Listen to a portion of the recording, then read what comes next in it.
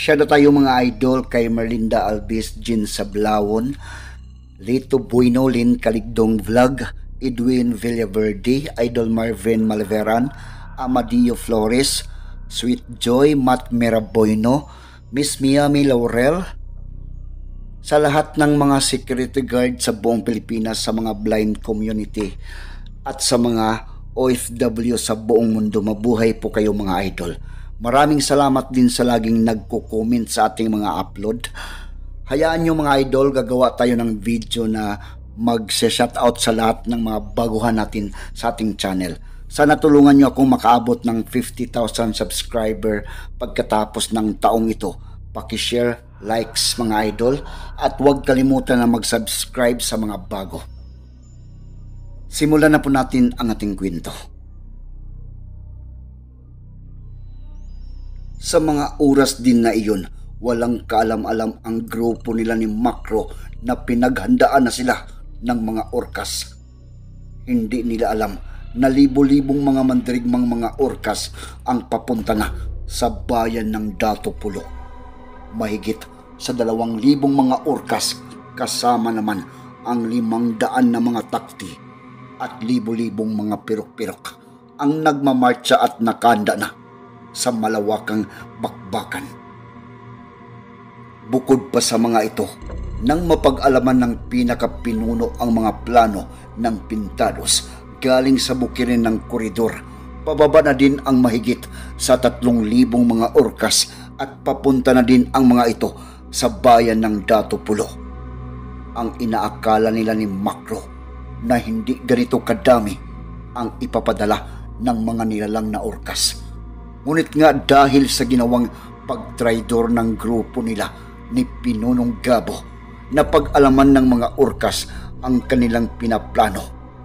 Kaya ang balak ng mga orkas doon na sa bayan ng Dato Pulo, wakasan ang grupo ng mga pintados. Ilang sandali lamang ang mga nakalipas, naalarma agad ang grupo nila ni Sator at Tatay Ato dahil kitang-kita nila doon sa unahan ang napakaraming mga nakasakay sa mga kabayo na mga orkas. Malayo pa man ang mga ito galing sa kanilang pinagtataguan. Ngunit sa dami ng kanilang bilang, imposibleng hindi nila ito makikita agad kahit pa madilim ang buong kapaligiran. Wika agad nitong si Sator. Ito na ang hinihintay ni Makro, Tatay Ato dumating na ang tulong galing sa mga orkas. Kailangan natin na maipalam agad ito sa grupo nila ni Macro at ng Pintados. Sagot naman ng matanda. Tama ka, Sator. Umaayon talaga sa atin ang ating mga plano. Ngunit mukhang napakarami naman yata ng mga iyan. Ang iniisip ko ngayon, kakayanin ba ang dami ng bilang ng mga iyan ng ating pinagsamang grupo. Sa narinig, muling tinitingnan nitong si Sator ang mga nakakabayong mga orkas at dito pa niya napagtanto kung gaano nga karami ang mga ito. Kitang-kita nila ito dahil nasisinagan ang mga ito ng liwanag ng buwan.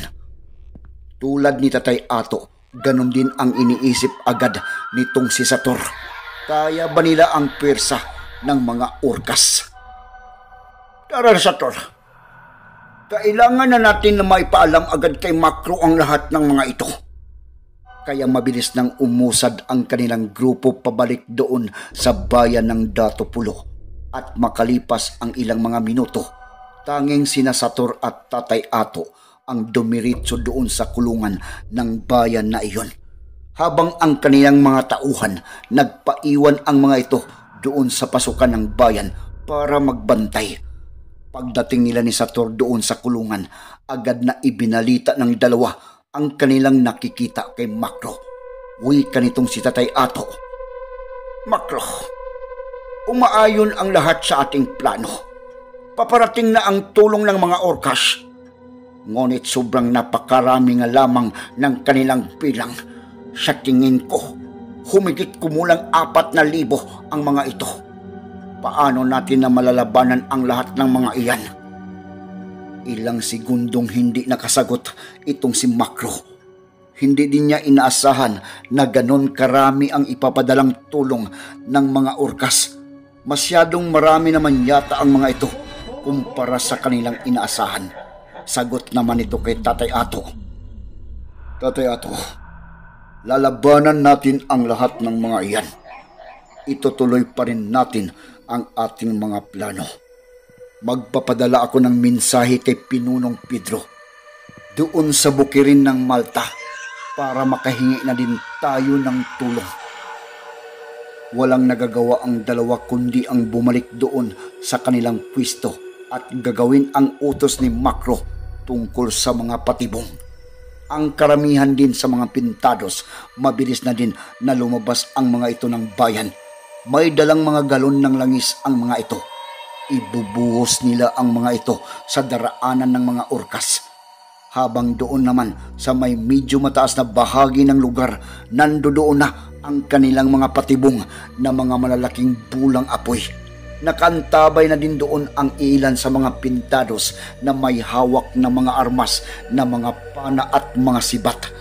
May inutusan din itong si Makro na puntahan ang bukirin ng Malta para ibalita kay Pedro ang mga kaganapan dito sa bayan at para na rin makahingi na rin ng tulong.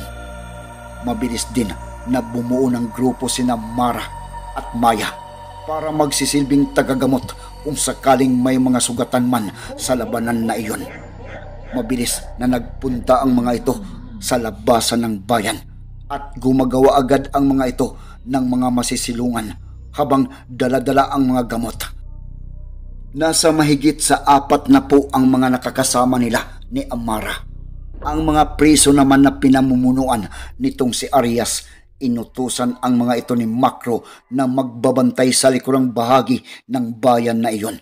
Baka kasi may iba pang grupo ng mga urkas ang lihim na papasok galing sa likuran ng bayan. Kailangan nilang mabantayan ang mga ito. Kasama ang humigit kumulang tatlong daan na mga priso. Mabilis na nagpunta ang mga ito sa gawing likuran ng Dato Pulo. Dala na din ng mga ito ang iba't ibang uri ng mga armas na tulad ng mga sibat, espada at mga palakol. Habang sina Makro kasama ang kanyang mga kaibigan at mga tauhan, naglalakad na din ang mga ito palabas ng bayan. Alas tres na iyon ng madaling araw malapit nang magliliwanag. Tamang-tama ang kanilang plano. Dumating ang mga orkas, wala pa ang pagsikat ng haring araw. Delikado na kasi kapag may sikat na ng araw. Baka masisipat agad ng mga orkas ang kanilang mga inihandang mga patibong sa paligid ng bayan. Makalipas ang ilang mga minuto, wika nitong si Sator kay Makro. Makro, nakahanda na ang lahat. Nakahanda na din ang mga langis sa daraanan ng mga ito. Hihintayin na lamang natin ang kanilang pagdating. Sagot naman itong si Makro. Mabuti kung ganun. Ngunit sa likod lamang kayo. Kami na muna ang haharap sa mga ito. Aalalay lamang kayo. Manong Sator, tatayato. Ganon din ang utos nitong si Makro doon sa mga pintados na kanyang mga tauhan. Sa likod lamang muna ang mga ito at sila na ang bahalang haharap sa mga urkas. Ngunit hindi makapaniwala ang mga ito. Libo-libong mga urkas ang kanilang kakaharapin. Paano nila ito matatalo? Habang nakahilira ang mahigit sa walong daan na mga pinagsama-sama na pwersa nila ni Tatay Ato, Sator at ng grupo ng pintados nakaantay na lamang ang mga ito sa papalapit na mga kalaban. Doon naman sa medyo mataas na bahagi ng lugar, nandoon na din ang mga pintados at nakahanda na sa kanilang gagawin. Ilang minuto pa ang lumilipas, kita na nila ang mga kabayong sinasakyan ng mga orkas. Dahan-dahan nang naglalakad ang mga kabayo ng mga orkas. Kita na kasi ng mga ito ang hukbo nila ni Makro na nakaharang doon sa pasukan ng bayan. Habang sa unahan ng grupo ng mga pintados kasama sina Sator at Tatay Ato Nakatayo naman sina Makro, kasama si Turo, Makil, Amara, Umar, Marco at ang batang si Runron. Kasama din ang matandang ermitanyo na si Lulu Ambo. Dala-dala na ng mga ito ang kanilang mga armas.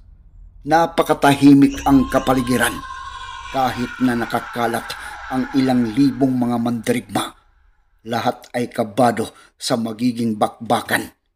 Ngunit buo na ang loob ng mga ito. Ilang sandali lamang hindi inaasahan nila ni Makro ang gagawin ng mga orkas. Agad na nagpakawala ang mga ito ng mga malalaking pana sa ere habang umaapoy ang dulo ng mga ito na nagbibigay ng liwanag sa buong lugar. At alam na nila ang ibig sabihin noon. Ginawa ito ng mga orkas para makita ang buong paligid ng lugar. Para mapag-alaman kung may mga nakatago bang mga kalaban sa paligid. Kaya bago pa makita ng mga ito ang kanilang mga ginagawang patibong, agad na pinakawalan ni Makro ang hawak na sibat na nag-aapoy din ang dulo. Punteriya ito doon sa mga orkas. Ngunit hindi umabot ang sibat. Tumarak lamang ito mismo sa harapan ng mga nilalang. At dito na kumilos ang mga pintados na nakatago doon sa medyo mataas na bahagi ng lugar. Ang ginawa kasi ni Makro ay hudyat para aatake na ang mga ito mabilis nilang ibinuhos doon sa mga maliliit na mga nakabungkal sa lupa ang kanilang mga langis. Kasabay din doon, pinakawalan na nila ang mga nagsilakihang bulang bato. Kung susumahin, kasing laki na ng kubo ang mga batong ito. Habang gumugulong ang mga ito, pababa at papunta doon sa mga orkas, nadadaanan nito ang mga langis na ibinuhos ng mga pintados kaya nang tamaan ang mga bato ng palaso na mayroong nagliliyab na apoy sa dulo. Agad itong gumawa ng isang napakalaking bulang apoy. Gulat na gulat ang mga orkas at natataranta ang mga ito. Ganon din ang mga nangyayari sa mga langis na ibinuhos doon sa lupa. Nagmistulang impyerno na ang buong lugar dahil sa nagsilakihang mga apoy. Nang tamaan ang mga orkas, sa mga rumaragasang mga bato. Agad na binawian ang mga ito ng buhay. Nagkagulo na ang lahat. Pinagpapana na din ang mga orkas ng mga pintados na nakatago doon sa mga batuhan. Ilang sandali pa, mayroong isang lalaking nakasakay ng kabayo ang mabilis na sumulpot at nagsisigaw. Inutusan nito ang mga kasamahang mga takti at mga pirok-pirok na sugurin ang mga kinaroroonan ng mga nagtatagong mga kalaban doon sa mga batuhan at doon sa ibabaw na bahagi. Napatitig si na Makro sa taong nakasakay sa kabayo dahil pamilyar sa kanila ang hitsura nito. Wika nitong si Toro.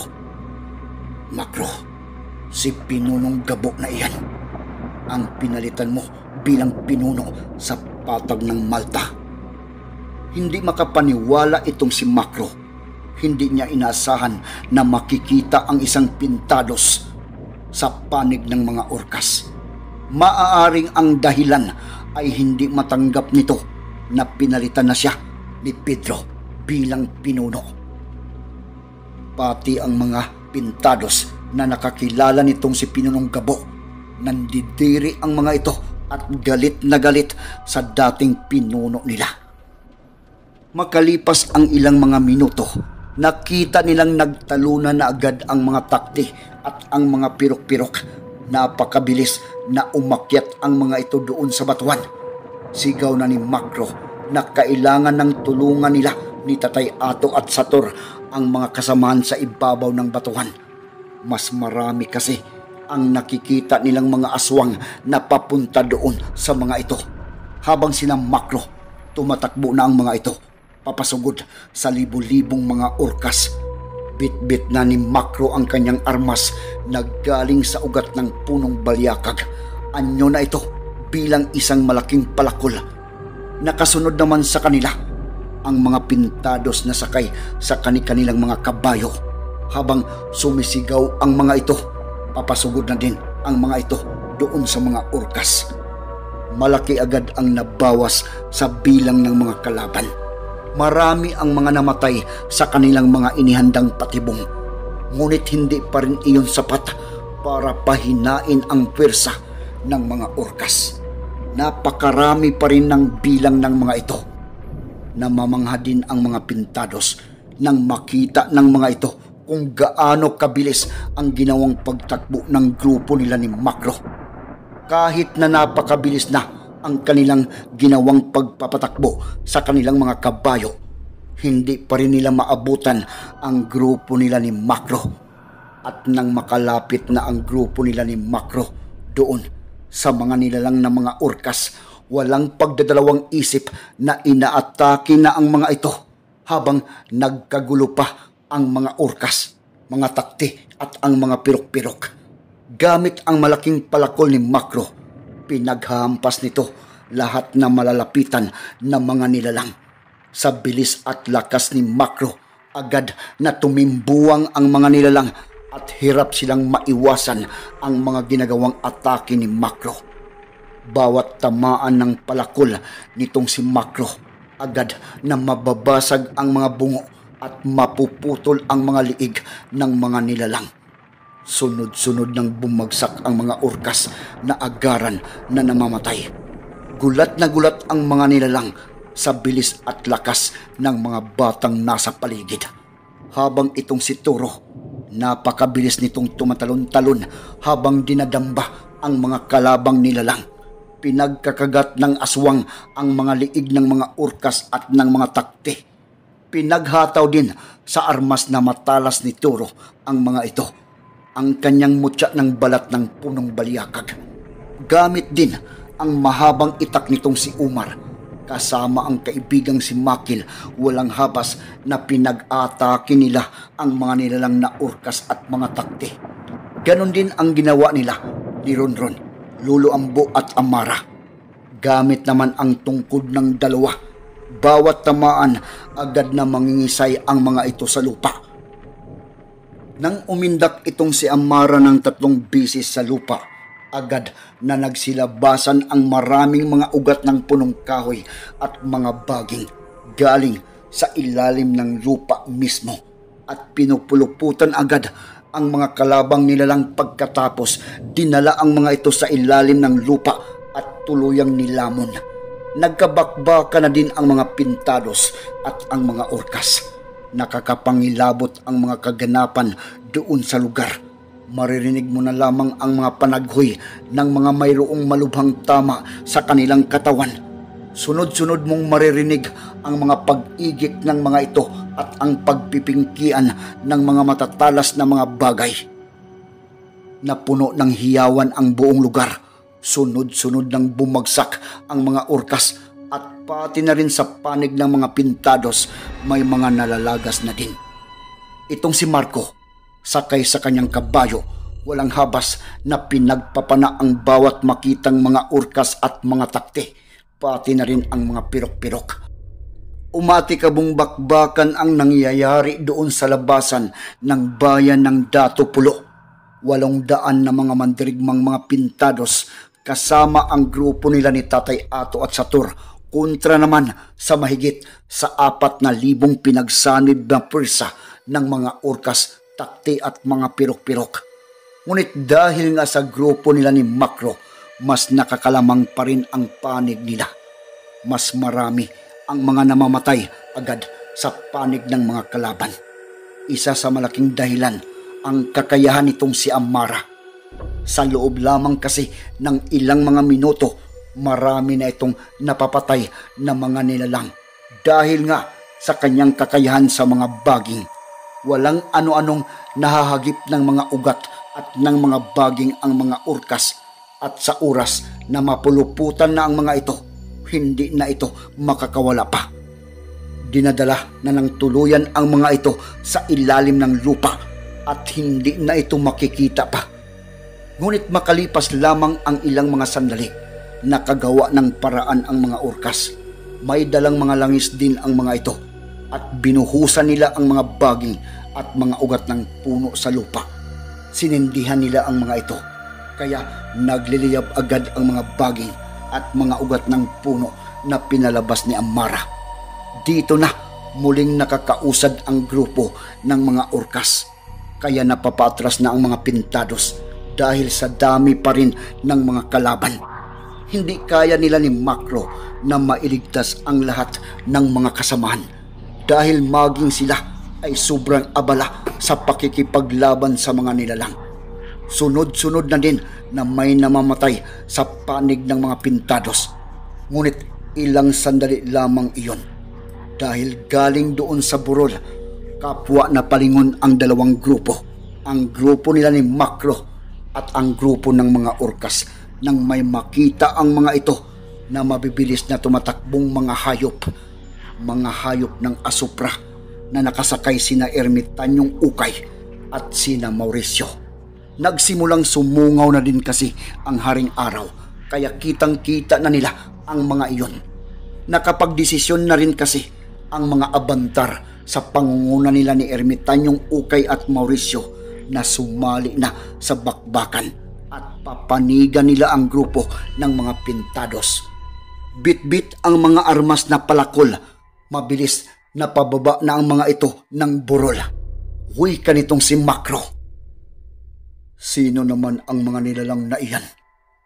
Isa sa mga pintados ang nasa gilid nila ni Makro ang sumagot. Huy ka nito. Mga abantar ang mga iyan pinunong Makro. Mga timawang inkanto at sobrang napakalakas ng mga iyan. Sana lamang sa atin papanig ang kanilang grupo